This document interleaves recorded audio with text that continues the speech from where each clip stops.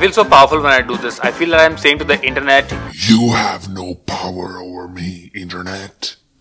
I know how to use my computer.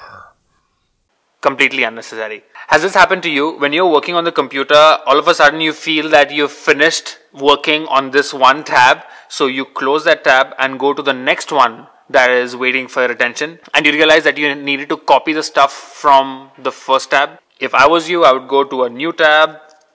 I'd go to drive.google.com.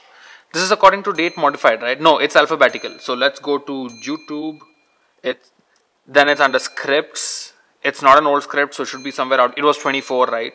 And if I scroll down, ah, this is the text I needed. Seems pretty straightforward, but I do that 10 times on each window over and over again. And more decisions makes me feel more tired uh, for nothing. Just a mistake. I shouldn't have closed the tab, right? There's a simpler way out. When you've done that blunder and you've closed that tab, all you need to do is hit Command, Shift, and T. And that brings that old tab back to life.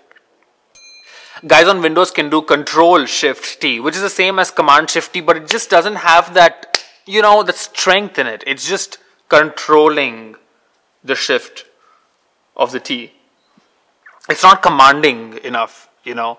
I don't know why all this hatred towards Windows. It's the same, Command Shift T or Control Shift T. If it's on Chrome, it's the same thing. One last thing, if you closed a whole window of like 25 important tabs, you closed your computer, went to have a coffee, took a shower, and came back and realized that the fourth tab was important and you didn't finish going through it, just open Chrome and the star of this evening, Command Shift T, will bring your tabs back to life.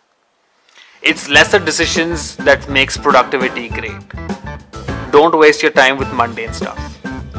See you guys next Wednesday.